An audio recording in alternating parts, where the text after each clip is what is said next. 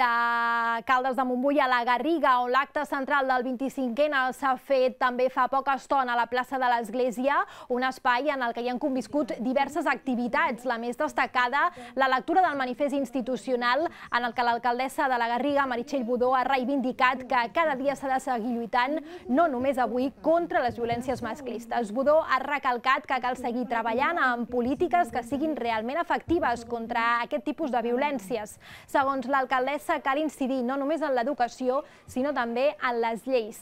També Esquerra i la CUP han llegit els seus respectius manifestos. Durant l'acte també s'ha pogut veure una instal·lació de l'associació Dones d'Ara amb un recull de set testimonis eh, que dona veu, que ha donat veu a les violències sexuals patides per dones de la Garriga. Els alumnes de l'Escola de Dansa Ana Muñoz també han interpretat la peça Ni una més.